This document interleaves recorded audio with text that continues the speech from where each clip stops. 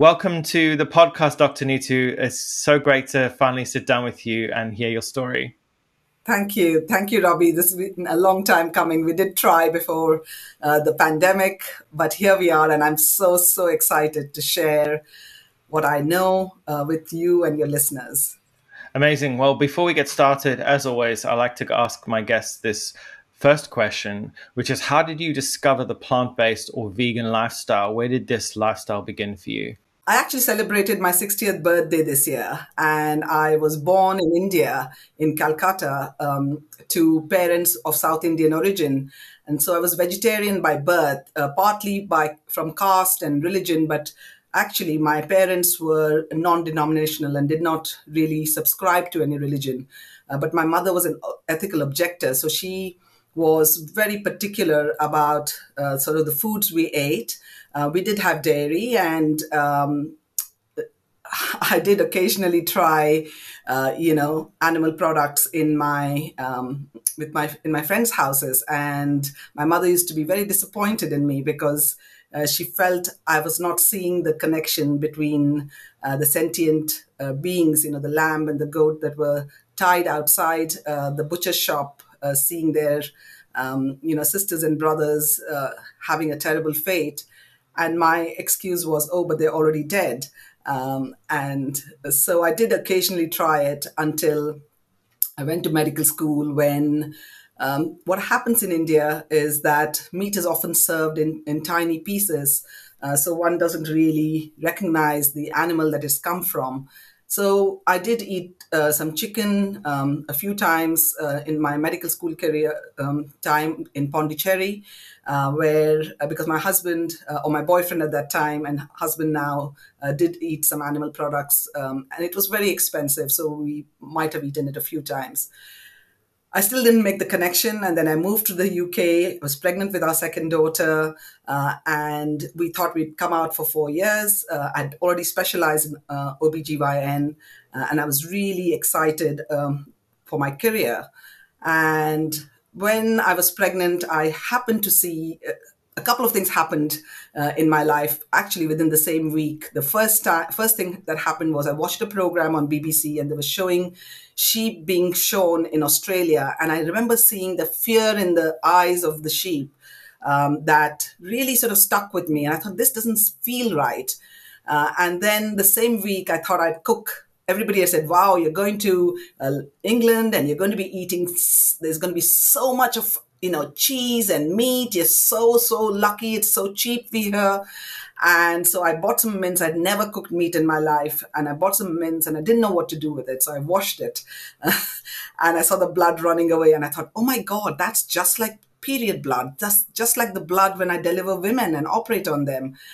And I immediately threw it in the bin. And I decided that I'm never, ever going to touch animal products again around that time, my brother in the US turned vegan and my mother subsequently followed as well. But I still didn't get the connection. You know, when anybody tells you too much or gets quite um, offensive about it, I think people tend to get defensive.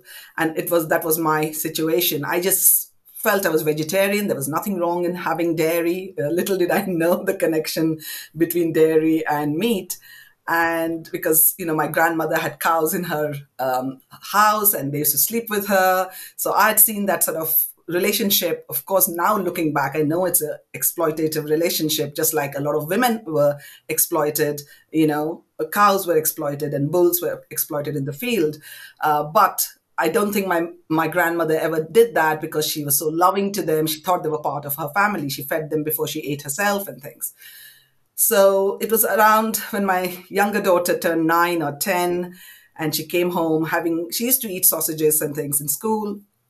And she came home and said, Mom, why did you not tell me all this um, before? And I said, I just wanted you to make your own mind up. She said, I'm turning vegan. Uh, and I said, But why are you turning vegan? Why can't you just go vegetarian? And um, she said, Oh, you don't understand. White equals red. And I said, No, I don't understand. What are you trying to tell me? And she said, Well, the dairy cow that gives us the, um, the milk, which is white in color, she can't uh, stand often after a couple of years. And she then gets sent to the slaughterhouse. And that's why it becomes red meat. And for me, it was like a light bulb. All the stuff that I'd been told before had been completely had not made any impact on me. And this just that one sentence uh, from a nine, 10 year old made such a difference. And I thought, that's it. I'm going to change and follow what my daughter, because I wanted uh, my daughters, both of them, to uh, be healthy and, and uh, nourished. And so I knew that I just couldn't feed them white bread and crisps because, you know, this is, we're talking 22 years ago. There was nothing out there. And it was really quite hard uh, being just being the only vegans that we knew. And, you know, when I look now and see, I, I, just feel so happy that I have such a wonderful community, people like you in my life and, and a lot of other people that I met through social media. So when people go hard on social media, I say, uh-uh, don't knock it. For me, it's been a lifesaver. Hmm, Nitu, that's an amazing story. And it's so great to hear how this kind of positive and compassionate message trickled its way through your family and it's happened in my family as well.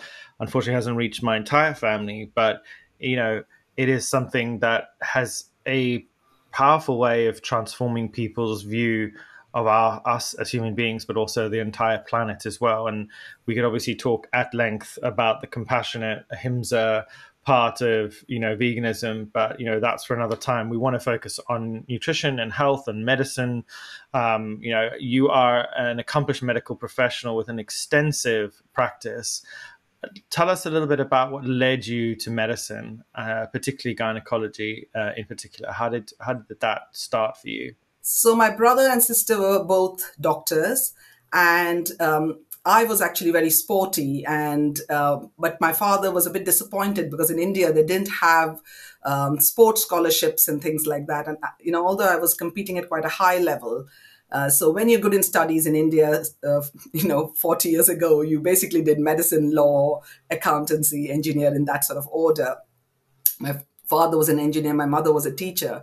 So I was very fortunate. Um, got into Pondicherry, which is a, a, a very competitive uh, medical school, a bit like the Oxbridge of UK, uh, and uh, very i was very happy. So i just went into medicine blindly um, you know but for me it was the perfect profession for me because i love communicating with people. And very soon i realized that i wanted to be a surgeon I also wanted to do medical stuff. I also loved the psychology aspect of it. And for me, there was no other specialty that fulfilled all those three wonderful things that uh, Obs and Gynae did. And 35 years down the line, I still find it just as thrilling. But what I realized over time was that there was something missing in my uh, toolbox. You know, I was helping women pregnant women after they had developed gestational diabetes or diabetes in pregnancy. I was helping women uh, with um, HIV and and before that actually I talked to them about safe sex and prevention. I was uh, treating people with endometriosis and polycystic ovaries and um, doing surgery and you know robotic hysterectomies and complex surgery before uh, for endometrial womb cancer for example when actually lifestyle and, and diet would have played a big role at the same time so that i could tell them how they could stop from coming back again in the future with their problems uh, hopefully you know by adopting a few things which we never told patients that. You know we just operated on them and then told them it's just bad luck and sent them on their way. When actually there were things that they would ask us is there anything we can do? And I'd say, no, no, no, nothing you can do. So I realized something was missing. And even when I turned vegan, I did not understand the link between nutrition and, and health, even though I was feeling even more energetic than ever before. I had unfortunately uh, gone through premature ovarian insufficiency or premature menopause under the which is one in 100 under the age of 40 and i was 38 and i didn't know where to turn uh, this was just as i was becoming a consultant and i had no idea because it was the whi study the million women study all that came out the media press was so against hrt that I was not uh, offered that, but I also didn't know how to help myself.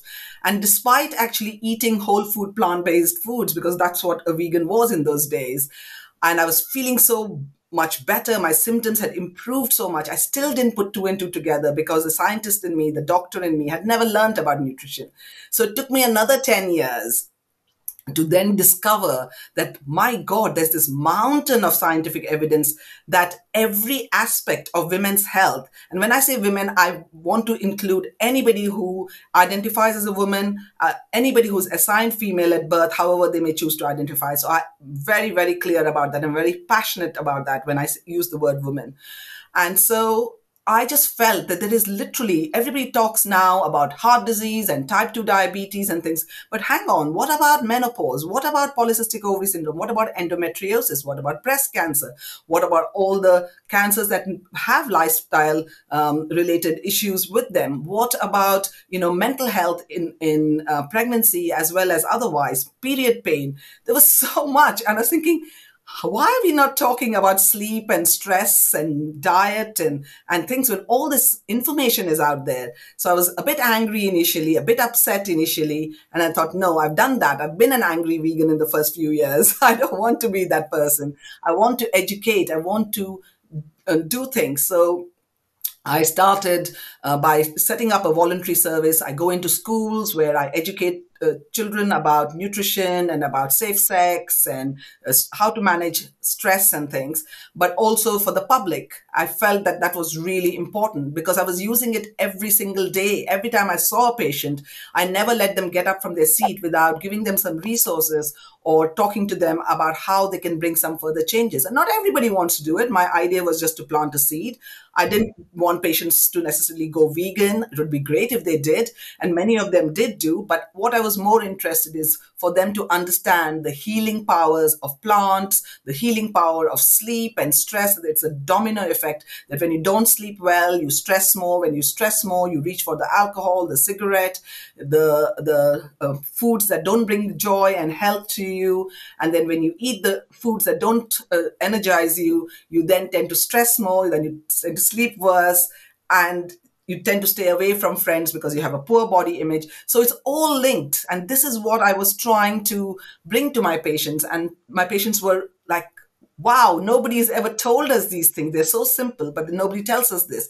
So that's why I felt I needed to talk to people on a larger scale uh, and, you know, try and bring this not a message sounds more like as if i'm you know but i wanted people just to be aware of um, the information that I did not have access to at the age of 38, the information that I felt everybody should have.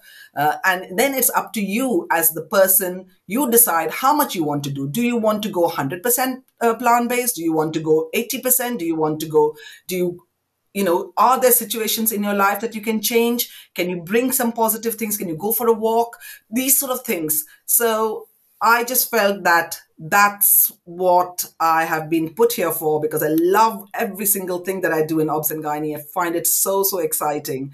But you know this aspect of lifestyle medicine so i retrained in it um, not retrained i trained in lifestyle medicine i also wrote the first uh, women's health module for plant-based health professionals the book is just coming out and i, I ran, run um, i do the women's health module in the nutrition course just because for health professionals just because i feel this information is so so important and we need to understand that you know we have to look after ourselves because once we look after ourselves we feel more fulfilled.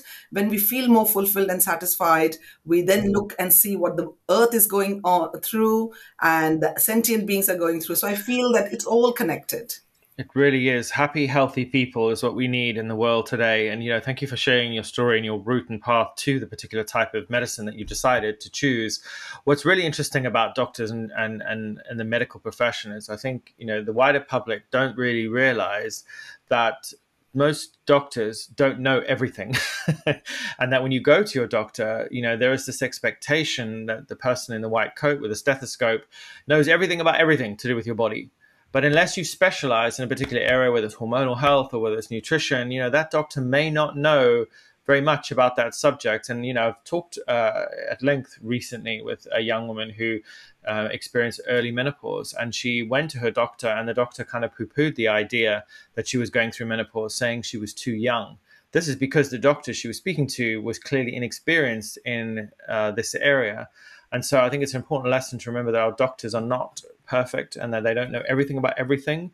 Uh, that being said, Dr. Google isn't something that you should necessarily tap into straight away. That it's not, you know, falling into this trap of like not trusting your doctor and going to Google isn't something we should be doing either. There has to be a happy medium, correct? Right?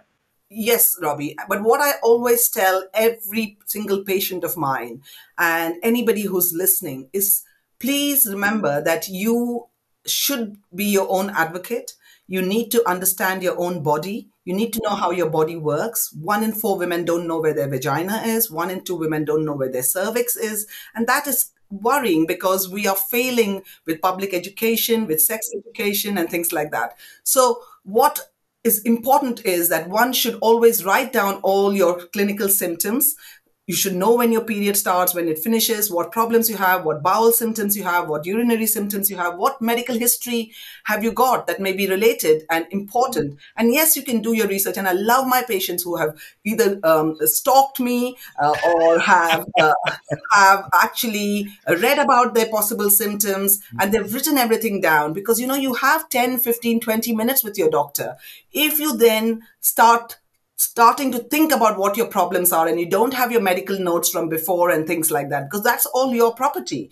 If you have all that information with you then it becomes much quicker and doctors do not know everything. And in fact there are many conditions where the patient actually will educate you and there is no shame in that because there are the human body is mysterious. It is very complex and it's so important that you may not know the answer. You may not find a cause for the pain. That does not mean the pain does not exist.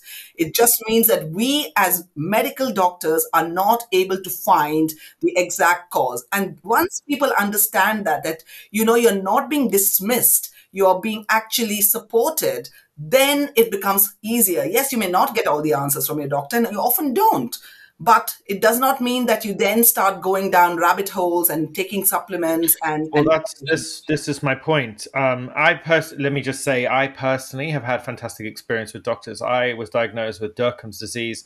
Um, it's a pain-related and um, uh, tissue-related disease, quite rare. Uh, I did a lot of research, and when I went to my doctors and I spoke to them about it, they were very open. They did. They were very clear that they didn't know much about it. Yeah. That they would do research. So I've had great experience, but I know a lot of people people who have had issues, whether it's hormonal issues or um, uh, potential what concerns around cancer, have gone to their doctors and have been dismissed, and then later found out that it was actually what they thought. However, I'd, I'd want to move the conversation on because obviously that's a that's a big rabbit hole we could go down, and I, I don't want to necessarily put like how doctors uh, address disease on on trial here. It's more about like the the important issues uh, that we face as communicators. You as a medical professional, me as a media professional and a journalist.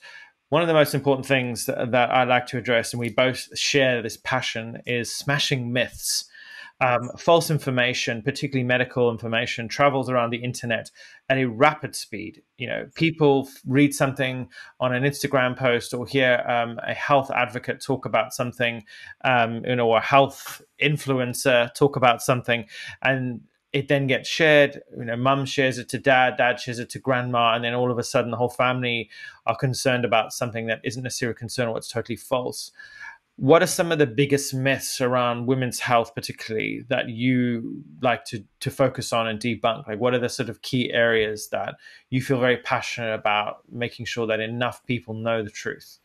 I think the, the probably the most important one is the myth about periods that having painful periods or heavy periods uh, or not having periods is is okay. It's not so anything that affects the quality of your life, so any pain that stops you from working to your max, or um, you know affecting affects the quality of your life, makes you miss work or school, or just doing things should never be ignored because there are many conditions that actually can be highlighted early on and managed much quicker. And that would be those would be conditions like endometriosis for example where tissue similar to the lining of the womb sticks itself outside.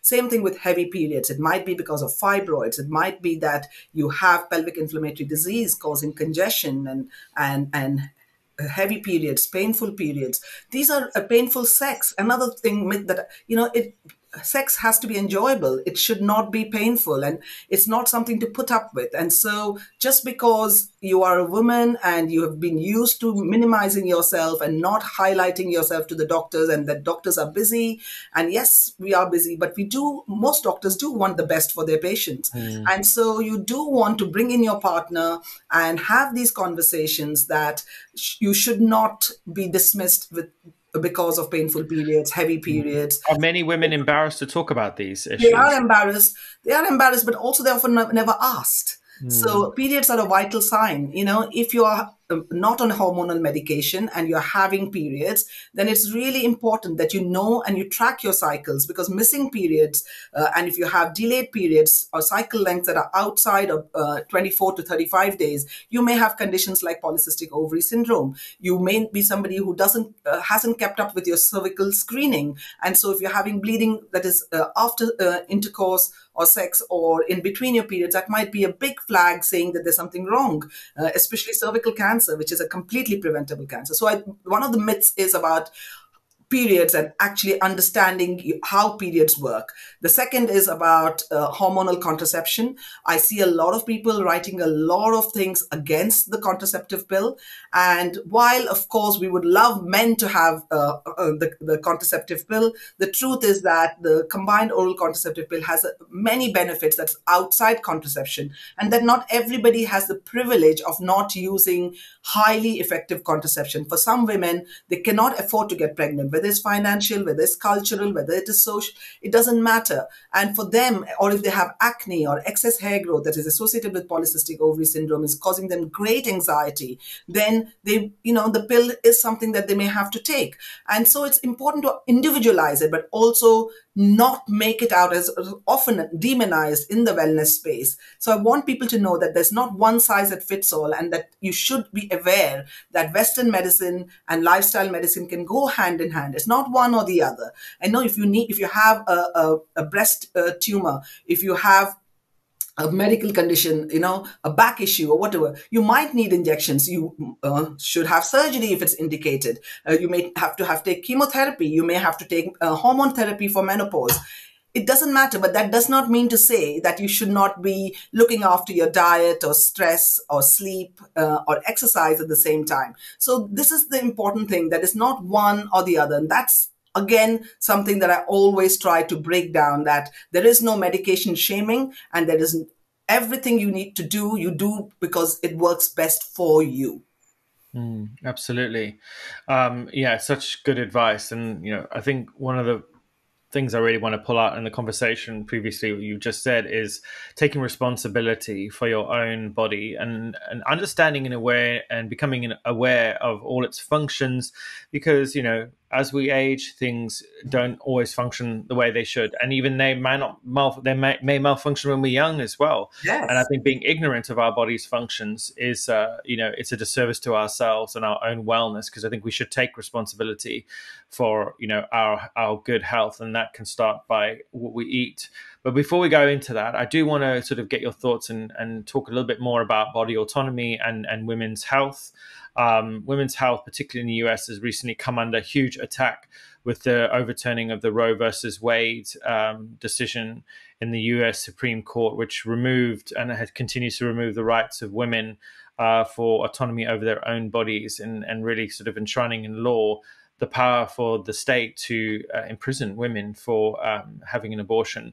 Men are are um, quite open and available to have you know various procedures, whether they're vasectomies or um, practice safe sex if they want to. But women are often you know when it comes to an unplanned pregnancy, they're the ones who are directly affected by being forced into this. So I'd just love to hear your thoughts a bit about this because obviously in the UK we're privileged enough for now to for, for, for this law to be protective of women's uh, uh sexual health, but in the US, this isn't the case, and it, we seem to be seeing an erosion, a continual erosion of the rights of women. So I just wanted to get your thoughts on that and, and, a, and a comment from you about this this change in the law. Really, really, really makes me sad, Robbie, to see this happening in a you know higher income country.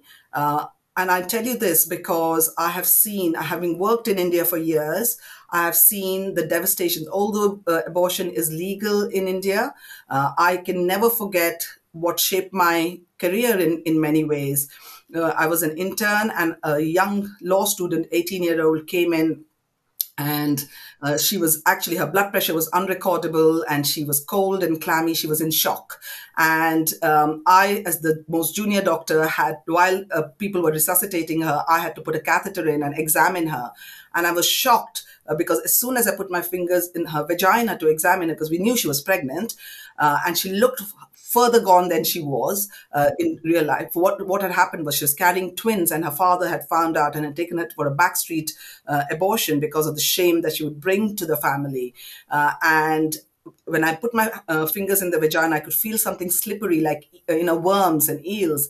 And I, even though I had hardly had any medical experience, I knew straight away I was feeling bowel contents. And basically, the person had perforated her uterus and pulled out her bowel, and it was completely necrosed, uh, which means it had gone gangrenous. And they worked on her for about eight or 10 hours, and then we lost her. And I can never forget that situation. This was a, a bright young woman who's I mean, it doesn't matter whether you're bright or not, but this was somebody who had her whole Potential. life Uh, potential, her whole life ahead of her for no fault.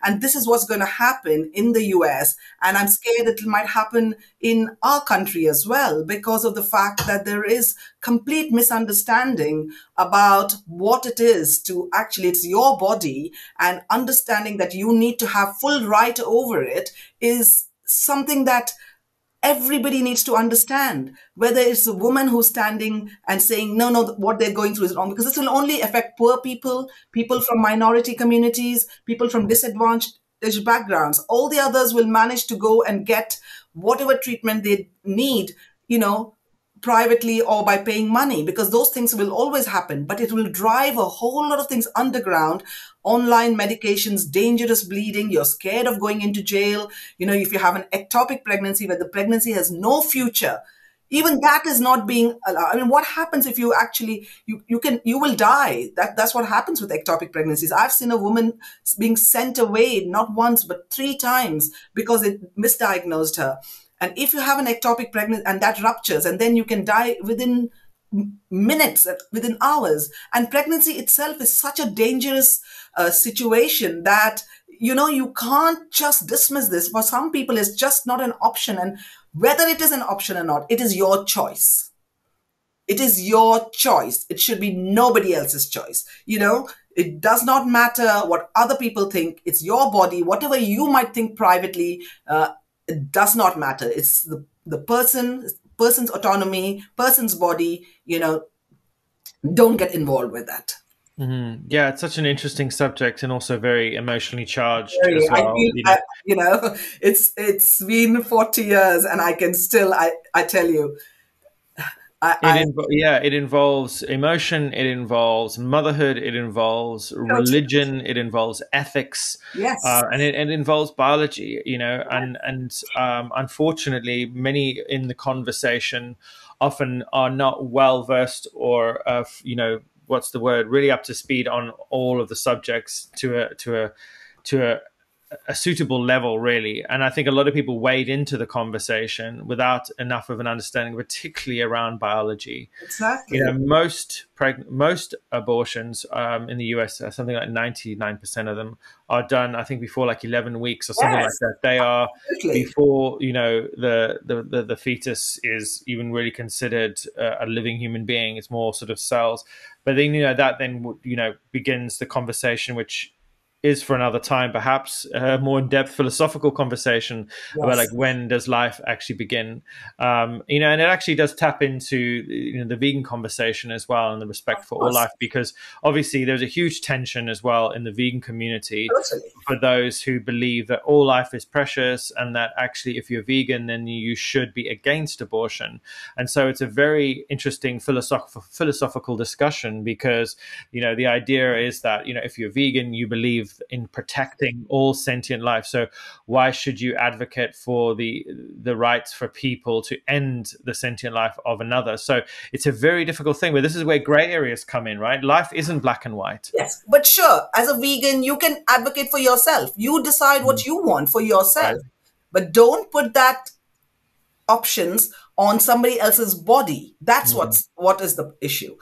I have no, I completely support somebody who says, you know, for me, I can't have a termination. It doesn't matter what it is. I, and I have lots of patients. I have, you know, counseled hundreds, maybe thousands of women throughout my life, you know, for having a, a, um, a termination or not having a termination. It's a very individual choice. And certainly as a vegan, of course, you are allowed to think that way and you can think any which way for yourself. It just should not be extended to mm. women and their bodies. Absolutely. That is an important thing. Moving on to the conversation around lifestyle medicine, your holistic approach combines traditional Western medicine with lifestyle medicine, which is largely an emerging field. They're becoming more and more prevalent nowadays. Reflecting back on your own education and the current state of the modern medicine, what is lifestyle medicine and what role does it play in providing a better care for your patients? So, lifestyle medicine, if you want to define it as it was defined by the American College of Lifestyle Medicine, it's basically an evidence based practice where you use proven evidence and use therapeutic approaches to either prevent, treat, and in some cases reverse you know chronic illnesses or and medical conditions in for some people. I don't like using the word reversal simply because um, if you go back to sleeping poorly or back to a stressful life or eating foods that don't nourish you and don't energize you, then it's likely that your type 2 diabetes or heart disease issues will come back. So it's basically a, a, a evidence based practice using therapeutic approaches which help you to prevent. So, hopefully, if you have a genetic background where you might be somebody who's highly prone to type 2 diabetes, polycystic ovary syndrome, heart disease, you might start bringing in changes very as early, as soon as you've learned about it. But it's never too late either. So, um, you know, whenever you hear about these changes, you try to bring those changes in to try and prevent it. And if you are not able to, because you have so many overriding situations. Not everybody can prevent everything through uh, eating the right way or sleeping the right way. In that situation, you may need medication, but also it will allow you to actually manage your blood pressure better. It will allow you to manage your menopause better. It will allow you to manage your uh, breast cancer better by actually, you know, exercising and sleeping better and stressing less and eating better. So it's not that you only want to do um, these lifestyle pillars, are six lifestyle pillars, which are sleep, managing stress, exercise or physical movement because exercise is structured uh, movement of your muscles while physical movement is you know doing household work gardening walking and things like that. So exercise sleep stress management avoiding risky substances especially alcohol and smoking both of which are class 1 carcinogens uh, tobacco i mean and and uh, alcohol even a single glass of wine after, uh, especially in the menopause, will increase breast cancer risk by 12%. Um, having a positive social network, having community. You know, Robbie, I just did a, a whole day of cooking demos and talks in a in a temple uh, recently, and I was just so taken blown away with the power of community you know that people really find it and that's why i love the plant-based community because that it allows you to belong to something. So it's good to be able to belong to something uh, to have that purpose to do charity work to do community work. So positive social network sleep stress exercise uh, plant-based nutrition particularly you know uh, and avoiding risky substances. These are the six lifestyle pillars and they can help you prevent manage treat and then sometimes put it into remission many of your uh, medical conditions. But you may need medic- uh, Western medicine and lifestyle medicine. Uh, advocates are very clear that Western medicine uh, and sometimes things like acupuncture and all that can go all hand in hand. It is not one or the other. If we know that this lifestyle can, for most cases, halt and, as you say, sometimes reverse some of the leading killers of human beings. Why is it not the default diet being prescribed by by health professionals across our country or the world for that matter? If there's so much data out there and we and there appears to be, why does it seem why does it seem like it, we're still in an uphill battle to convince people that if we want to reduce the huge burden on the NHS when it comes to you know diabetes, type two diabetes, obesity, heart disease, that we should be encouraging people very strongly to move on to a plant based diet. It just it just does, there just seems to be a huge disconnect. Why do you think that is? Um, for several reasons, I think. Uh, most health professionals are not aware have been ignorant about the power of lifestyle for most of their careers because we are not taught that in medical school, we're not taught that in our residency, and we're not taught that later. It's now slightly changing, but we've still got a long way to go. Plus, there is the power of industry. Okay, industry works very closely with politics and with funding, and so it is important to understand that you as an individual are trying to really fight the big brothers out there that are you know animal industry, uh, agriculture industry, uh, the uh, junk food industry, the tobacco industry, and people have learned a lot from um, the tobacco smoking because we knew that it caused cancer for years and years and years and years. Uh, but uh, it took 50 years. It, it probably took just about 10 years ago that we stopped people from smoking in public. So, mm. and 9,000 studies by yeah, the, uh, yeah. the in the right. United so, States for them exactly, to publicly say. Exactly. So, so you can see that the alcohol industry and all the other industries have learned very quickly how to dodge these things. Mm. And when you put confusion, uh, then it becomes so, you know, nobody's telling, of course, it's great if you can do a 100% uh, plant based diet, but every step to eating whole plant foods is, is a health benefit. Now, but there is no money to be made from eating soya beans or, uh, you know, broccoli. As Dr. Greger says, there's no broccoli lobby.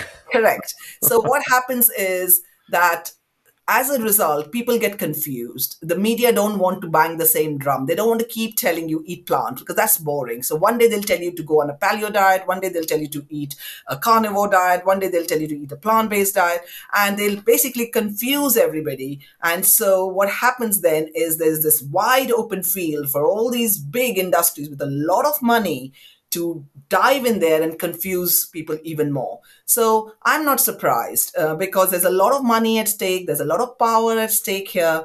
So all I want to do as an individual rather than lose hope because I feel that I don't want to be in that place. I want to make that difference. I want to look back uh, when I lie down, hopefully at the age of 110, like a blue zone person, uh, you know, that I did my bit. I did my bit for the planet. I did my bit for reducing animal suffering. And I did my bit for the most important group of people, my patients and, and the public, so that, you know, children and adults can live, hopefully, the best life that they can hope to achieve. And it may not be your life or my life. Everybody is different. And it doesn't have to be that you compare yourself with anybody else. What can you do to make your life more better? How can you bring more color onto your plate? How can you get up and stretch for a little while? How can you go for a walk in the nearest park that you have? Those are the things that I want people to think. I, if you're eating one fruit today, can you eat two fruits?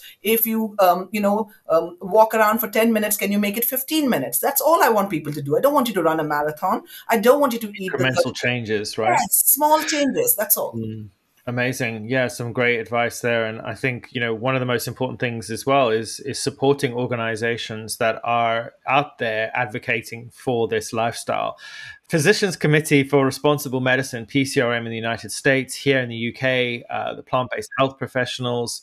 There are a lot of organizations that are out there as trained medical professionals that are um, I don't want to say pushing this message because it makes it sound religious, but they are they advocating for this lifestyle in a really rational and scientific way. So please do support both these organizations. We'll put the links to both of them in the show notes. Thank now, you. I'd like to go back to talk about endometriosis because obviously it's an uh, it is a condition that often goes undiagnosed for years, sometimes on average of seven years. I've read. Yeah. Um, many women are affected, um, including uh, in ways that are including painful periods and uh, pain during sex. What are some of the other signs that women can look out for, and uh, what should they be discussing with their physician to receive the appropriate care for this condition? You're right, Robbie. Endometriosis does take an average of 6.7 years. Uh, and so some people may take 10 years, for example, to be diagnosed. And this is because uh, painful periods, especially in minority communities and, and things have been. Um, and generally, I, I, would say painful periods are often dismissed as normal, as part of that's that's what it's meant to be. But any period pain that actually affects the quality of your life, that lasts longer than you think it should be, or is getting worse, uh, it's best not to uh, ignore it because it might be one of the early symptoms of um, a condition like endometriosis. Now, endometriosis is where the lining of the womb grows outside, and for some reason, it can be found in the lungs, in the nose, on, on cesarean section scars, and it can be found inside your pelvic cavity and causing scarring and uh, adhesions and so last night I did a really complicated case as well, um, you know, where you have to actually unstick everything uh, together, uh, unstick everything from sticking together, the ovary stuck to the back of the um, womb or to the bowel. So you can have painful um, defecation, which means when you open your bowels, you might have pain, especially during your periods. You may pass blood, you may have urinary symptoms, you may have fatigue, you may have chronic um, stress. And I remember a patient of mine telling me, and I'll never forget that. And in fact, I wrote a Huffington Post blog on it. She says, Dr. Bajekal, um, I feel that, you know, when I, I have endometriosis and I look normal from outside and I feel that my fate is worse than cancer. I feel people are not sympathetic at work. They don't understand the chronic pain that I'm in, the chronic uh, fatigue that I'm in, and I can't have sex. I'm not able to get pregnant. So, infertility is another uh, situation that some women may uh, find themselves in. And there are different grades of endometriosis, different uh, uh, grades of symptoms, but there is no one treatment, and the diagnosis depends on a specialist like myself putting a camera down your uh, belly button called a laparoscopy which allows me to examine the insides and then treat um, where necessary. But you can see it's an intrusive procedure. So that mm-hmm. is another reason why it takes time. And it also then mimics this broad umbrella like term called irritable bowel syndrome or pelvic inflammatory disease. But the truth is that if you actually take a detailed history and you are very careful with uh, talking and listening to your patient, you should be able to come to a diagnosis. But as I said, I want my um, your listeners and my patients to actually advocate for themselves and not take no for an answer unless they actually feel reassured uh, by a trusted individual. There are lots of doctors who are empathetic but are, who are also very good and will not dismiss you just because. So endometriosis is something that can last even into menopause and and can make symptoms worse if you happen to go on menopause therapy uh, and so there's a lot of uh, there's a lot, lot of issues, um, especially in Asian and Black communities. Women are less diagnosed because, again, they feel uh, scared to go into the hospital to be mm. actually checked out. Uh, people who live in larger bodies find it harder. That's why, you know, we wrote out. I was going to write a book actually initially on endometriosis, but decided to write on polycystic ovary syndrome, which is because it's the commonest uh, endocrine and hormonal condition but the reason I did that was because a lot of women live in larger bodies, a lot of stigma from infertility, acne, uh, as in an uh, you know adulthood, excess uh, hair growth where you don't want it on your face and things, losing your hair on the top of your head, insulin resistance. All these symptoms really stigmatize um, uh, people, and as a result, they have a lot of anxiety and depression.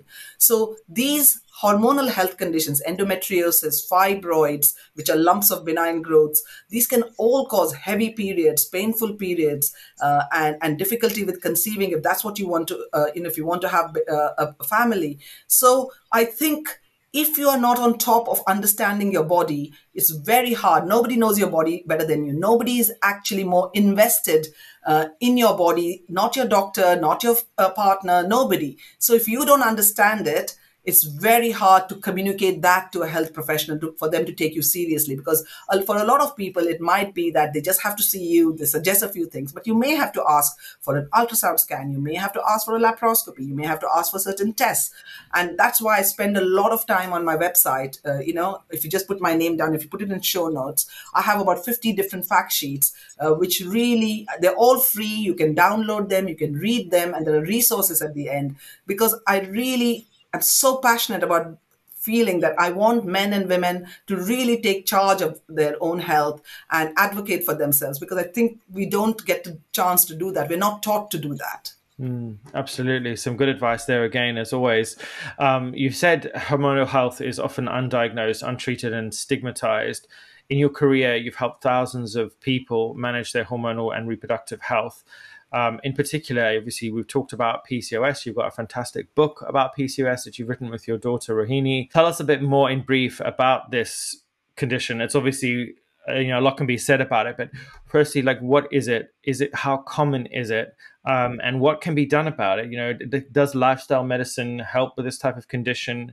And what can women do uh, to start moving towards a road towards a recovery or at least some kind of um, support from their doctors or their families? Thank you, Ravi.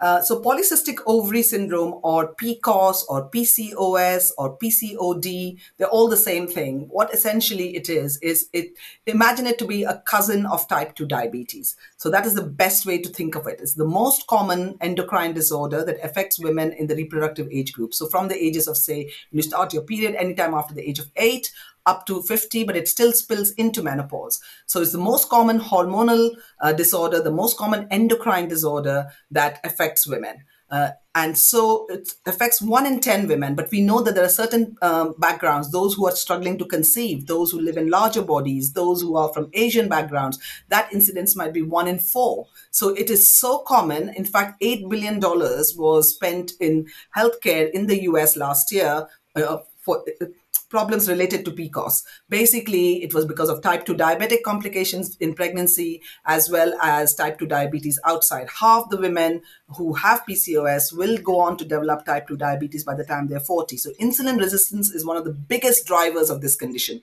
So, it may manifest with the most common and under, most commonly recognized symptom missed periods or irregular periods. So, if your periods are coming regularly, um, then you know that's a good sign. While if your periods come sometime at 37 days 40 days 45 days you miss two or three cycles that may be a good sign that actually you may have an underlying hormonal imbalance or uh, underlying hormonal disorder. But pcos is a diagnosis of exclusion. So you have to rule out things like eating disorders exercising too much uh, and many other conditions. But polycystic ovary syndrome is the most common hormonal disorder, is the most common cause of infertility in women as well. So you can see that women may have missed periods or irregular periods. They may have cystic acne and other signs of androgen excess, which is androgens are like testosterone. All women, all men have testosterone, but sometimes it can go into a little bit of imbalance. And so you can have acne, excess hair growth, as well as loss of hair. Those are signs of androgen excess. And sometimes ultrasound scans may show this sort of pearl like appearance,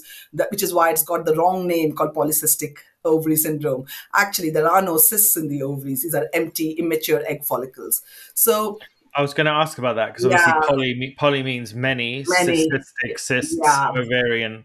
So you would assume that there were multiple cysts forming around no. ovary, the, the no. ovaries themselves. So what is the actual what is the actual sort of like biology of the condition itself? Yeah, so there are no cysts. Cysts are fluid filled um, follicles that Uh, women have and they come and go once a month often or you may have pathological cysts like cysts that contain hair and teeth or endometriotic chocolate cysts and things like that. These are just immature egg follicles. So imagine there's a big safe with a lot of eggs in it. We are already born with a number of eggs and every month there is a race to the top. Uh, some of the eggs are released out of that safe, and one of them gets selected to be the queen bee and gets released and gets uh, uh, ovulation occurs. And then when pregnancy doesn't occur, then a period occurs two weeks later.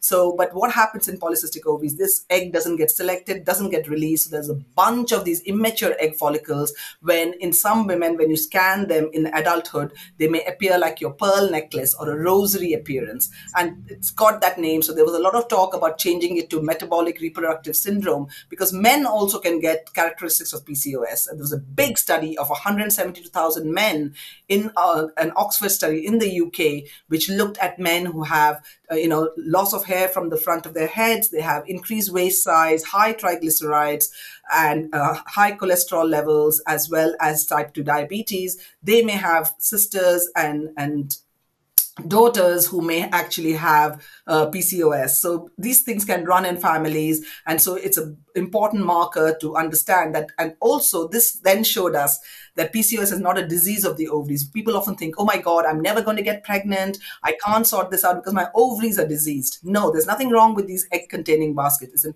endocrine problem. There's a messenger problem here. You know, the, the signals that are being sent by your brain to the ovary have been dis- disrupted. So, what you have to do all international guidelines agree that behavioral changes and diet and lifestyle changes are the first line of management, which means exercise, diet, and actually not um, having weight loss as a goal, but trying to have health goals so that you shed a little bit of weight because 8 out of 10 people will carry some excess weight and just dropping that weight will lower the estrogen levels and help you ovulate and things like that. The drawback and the reason we wrote our book was because they then the patients in those committees said hang on you're telling us about lifestyle you're telling us about diet but you're not telling us what to eat. So what happens is they say have a healthy diet. Now your idea of a healthy diet robbie may be very different from mine may be very different from my neighbors. So that's why because the evidence is very strong for type 2 diabetes and because it's such a close cousin and because i've seen so much of benefit in my patients i recommend trying to edge as close as possible to eating whole plant foods. By that i mean a lot of beans a lot of legumes a lot of soya which has got the healthy plant estrogens a lot of fruit a lot of green leafy vegetables herbs spices nuts seeds intact whole grains uh, you know these are should be the cornerstone your plate should be filled with color uh, and delicious flavorsome food so that you actually find that your inflammation levels drop you stay away from ultra processed foods that actually fuel the inflammation. You stay away from animal derived foods that fuel the high levels of estrogen. And so by doing that, by exercising, you tend to find that your symptoms improve hugely while exercise and, and diet play a big role behavioral changes also play a very big role because anxiety depression uh, ocd symptoms suicidal thoughts um, sexual dysfunction these are all parts uh, recognized in polycystic ovary syndrome. And so it's so important to understand that talking feeding yourself words of self-care and mm. self-love is so important. Always talk to yourself. I tell my patients and those who are reading the book talk to yourself as if you talk to your best friend. If you would not say those words to your best friend or somebody who you really love then don't say it to yourself. Because that will just take you back steps rather than take you forward. And medication may be needed. You may need drugs like inofolic acid. You may need some supplements. You may need the pill. You may need metformin. You may need fertility treatment. There's no shame in that. But don't ignore diet and lifestyle because that will help you not just now, but for the years ahead. In the vegan community, and obviously outside the vegan community and the plant based community, there is a, a lot of myths surrounding soy. You touched on it there in your description about what we should be eating. There's a lot of criticism suggesting that soy is high in estrogens, that it's going to damage our reproductive system, that it's going to cause gynecomastia in men, which is also known as man boobs, that it's going to imbalance our hormones generally, that it's made of plastic, that it's highly um, what's the word engineered and that we should avoid it at all costs we shouldn't eat it if we're experiencing uh, breast cancer what is the facts and what is the reality around this interesting little bean because it causes so much controversy. Whenever we mention it on PBN, eat soy, eat tofu, we are bombarded by a barrage of people who who want to tell us that uh, we shouldn't be eating it because it's going to make us sick. What's what are the facts, Dr. Nitu? So the facts are so strong that I actually have a whole chapter dedicated in my book and I have a whole fact sheet on my website. Soya is safe, study after study after study, thousands of studies thousands of papers every year confirm how safe it is. Why? Because it is a bean, it's a legume, uh, and it was discovered uh, about 5,000 years ago or so in China. It's been a part of staple uh, of all the Southeast Asian countries for years and years. There has it has no negative effect on uh, men or female, male or female reproductive health. That is really important to understand. It the reason it gets so it's a very, very good source. You may choose not to eat soy, and that's your prerogative. But only three to four people uh, out of a thousand may be sensitive or allergic to soy, and that will they often tend to grow out of, unlike two out of uh, or three out of a hundred in dairy. So with dairy, so it's important to understand that soy is very rich in fiber. It has got all the essential amino acids. Um, um, uh, arranged in a way that is similar to the animal derived foods, for example, egg white, but has none of the nasties that come with animal derived foods. So it's important to understand it's rich in protein, it's a rich source of fiber, micronutrients, vitamins, but it also has something called isoflavones. Isoflavones are plant estrogens that have very little uh, mimic, they mimic the activity of, of mammalian estrogen that our body produces or is present in meat and chicken and things, but it also has uh, something called an estrogen blocking effect. So it's very clever. What it does is in the bones, it needs to promote uh, activity. So it reduces uh, um, osteoporosis and promotes bone strength. Nice studies to show that. Uh, while in the breast, if you have too much of excess mammalian estrogen, it will block those receptors. So you reduce your risk of breast cancer. It reduces the risk of colorectal cancer bow, uh, or bowel cancer, ovarian cancer, liver cancer, prostate cancer by 25%. So it's really important to understand that the earlier you start uh, eating soy products, uh, which is usually uh, minimally processed soy products, are better for you. So soy milk, edamame beans, soy yogurt, tofu, tempeh, miso, natto. Those are the sort of foods you want to bring in about two to four portions as an adult in your, uh, depending on the level of activity that you have. So, for example, I would eat about four portions where I have a handful of tofu. I would have, you know, a handful of edamame beans either in my salad and things like that. Plus, I have a cup of soy milk and uh, on my porridge, along with flaxseed and things. So, isoflavones are found in flaxseed powder, which also we know reduces the risk of breast cancer. We know that isoflavones are found in berries, in bran, in cereals. Uh, so, it's not that it's unique to soy, it's just that it has this very interesting way of called a SERM activity, selective estrogen receptor modulator. So that is why it is so wonderful and actually denying ourselves that, that bean. And the reason why the animal agriculture industry is knocking down all the rainforests, you know, most of the soy that is produced is sadly used for biofuel and for feeding uh, animals because it's such a rich protein source, rich fiber source. So they know that. And so what is important to understand is only 6% of soy is actually used for human consumption. And the UK Roundtable of Sustainable Soy is very particular where the soy comes from. And, uh, you know, if it is genetically modified foods actually are not dangerous everything that we are eating nowadays is genetically modified. Otherwise you couldn't eat your wheat or anything because it'll all get destroyed by pests. But actually all the soy that comes is not genetically modified comes from the asian countries and it's something that you should include in your diet. Even if you have thyroid issues you just have to take your thyroxine medication a couple of hours separate from your soy. If, even if you have a history of breast cancer because we know that those uh, a nice study showed that when you are on medication for breast cancer and you're trying to reduce that breast cancer from coming back, those who actually ate more soy products actually had a significant, I think something like a 20, 30% reduction in mortality from the breast cancer coming back. So it's so important to understand that it should form part of a varied diet, whether you're 100% vegan or not. Soy is a very important source, especially for children and for people who are growing older, uh, because you need more protein and you need good protein sources, and that is tofu, tempeh, edamame, mature soybeans. In fact, Neil Barnard from PCRM did a wonderful study where half a cup of mature soybeans, if you eat every day, you get about I think 50 milligrams of isoflavones. You can get it from other things like edamame beans, tofu, and a cup of soy milk. But when you take that half a cup of mature soybeans, they found that the women had an 84% reduction, 84% reduction in hot flushes. Wow. That is amazing. Forget the mild flushes. This is moderate to severe flushes because not everybody can take hormone therapy. Not everybody can take hormone replacement therapy. One in seven of us will get a, a lifetime uh, diagnosis of breast cancer.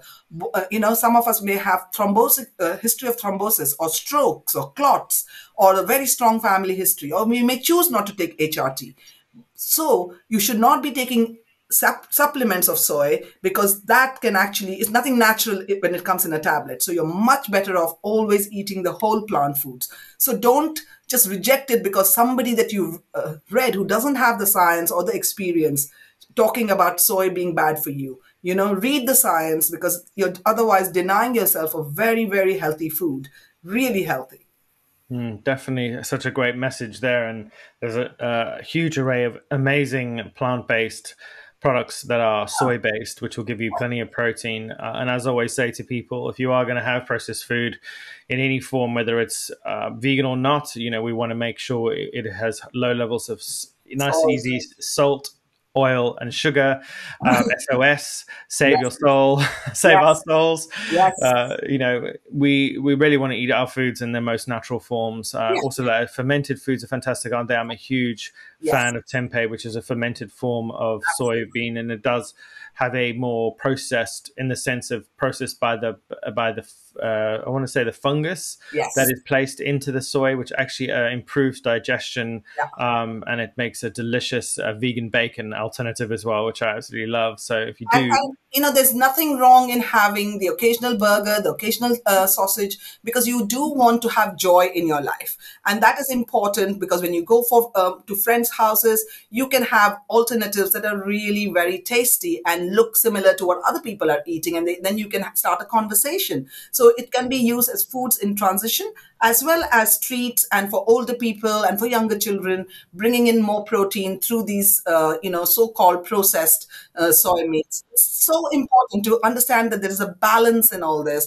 because soy is also very. I forgot to mention, it's very good for lowering your cholesterol, helping you to lose weight, as well as very good for heart disease, especially the fermented types. Mm, absolutely, yeah. The, the plants, uh, the answer is in the plants. It's the in answer food. is in the plants. Um, you know, it's such a, an important message. It's simple, but it's a very important message. And I think that's the trouble and the challenge that we face in the world today. People are looking for quick fix solutions, looking for a pill, something instant but it takes time for our bodies to adjust and it takes time to resolve chronic illness. And so we have to be patient. Um, yes. We have to be patient patients. Uh, yes. so thank you for this uh, fantastic conversation. My last question really is about the vegan movement. You know, it's a fundamentally um, a movement for empathy towards others and all living beings, um, and particularly towards ourselves. Um, I think when we think about medicine, think about doctors, you know, sometimes there is a a disconnect between the patient um, and the doctor in the sense of a connection, that kind of compassionate connection. Uh, doctors are coming under increasing pressure to get patients out the door quicker and quicker because there's just a lot of people and not enough doctors, and there isn't a time to have those relationships those connections with people. Um, not everyone can afford to go private and have, uh, you know, a kind of intimate connection with their doctor. But if there are any health professionals out there, medical professionals out there, practitioners, have you got any advice for them about how they should be connecting with their patients and how we can compassionately and kind of courageously encourage people to move towards a more healthy plant-based lifestyle? Because it isn't easy talking to people about what they eat. Often when you talk to people about, about what they eat there is defensiveness there is um, kind of you know shame attached to it um, but what are your methods and how do you talk to people about this in a way that really resonates and connects with people from a heart center, I suppose? So I've been very fortunate, and so has my husband Rajiv. We've been very fortunate in educating our colleagues in our department. Uh, but what I always tell people, um, my colleagues, and you know, I have been teaching in uh, medical students and trainees and younger consultants for years, decades. I always say treat people the way you would want to be treated. And it's likely because a lot of doctors might practice defensive medicine because they're scared of being sued. What I would always say is that if you actually practice medicine the way you or you would want a loved one of yours to be treated, you will almost never go wrong. You can make mistakes, you can have complications, but you should own up to those. You should be open about those because that will actually make you a much better human being, much better doctor, and you'll practice much better. And that's the uh, mantra that I have followed throughout my life, and I've been very blessed, very fortunate. I hope I will be until I stop practicing, which I hope is not going to be for a very, very long time. Um, the I also always say that, you know, follow the science, read the evidence, try it yourself because it's very hard when you are smoking a cigarette to tell your patient to stop smoking. If you're somebody who does not exercise, how are you going to tell your patient to exercise? If you're somebody who's going to go and tuck into that uh, chicken curry, how are you going to tell somebody to eat less red meat and chicken, which is associated with, for example, endometriosis? We know that a very good nurses' health study showed that. So all i want people to understand is that you want to adopt this because you have you may want to have children you may want to have grandchildren. You want to leave a world for them. They will look back and say you know what? My mom and dad did the best they could to leave me an earth where i could drink water i could eat food i could roam around without being you know burnt to a toast. So i really think that compassion has to start within yourself with your patients but also remembering that you know, there is no health indications to eat continue eating in the standard Western way. There are so many health and joyful benefits from eating more plant food. So try and start with small steps and increase them because then you will actually reap those benefits and the planet will reap the benefits and those animals that are suffering will also reap, the benefits. There is, it really is a win-win situation and that's the message I always try and give without judgment because I think when you do put judgment onto people, they get defensive and they don't want to hear it. And also pointing people to resources. Some different resources appeal to different people. Uh, and so it's really important that you actually give that uh, resource so that people may just go away and say, you know what, that's a whole lot of rubbish Dr. Bajekal just said. Or, you know, actually there is a grain of truth. Maybe i can start making some changes for breakfast. Maybe i can start making some changes for lunch. So that's that's the way i have decided that is going to be the way i work. Amazing. Some great advice again as always. Uh, before I let you go, I always like to ask my guests this final question. If you were stuck on a desert island and it was just you and a pig, you're obviously not going to eat the pig because you're vegan. You know what's coming next if I gave you one book, one vegan dish, and one music album or music artist, who would you take with you? Um, the book I think would be. Oh, I actually might take, um, you know, a book that is complete. It's about Muhammad Ali. Um, uh, because he's a big hero of mine. And so I would read anything that is about him or by him. Um, my vegan dish would probably be um, a, a, dosa, which is a South Indian pancake, a savory pancake. I could probably eat that uh, all my life, or sticky toffee pudding, but I might find that a bit sickening after some time. and what was the third question? The uh, music artist. Music artist. Ooh. Mm, a lot of them, but I have to say, very traditional, but the Beatles would be never fails me to get up and start singing and dancing. Got a lot of nice memories for me uh, from my teenage romantic years with my husband. So, Dr. Nitu, thank you for joining us on the PBN podcast. It was a pleasure to sit down and hear your story. Thank you.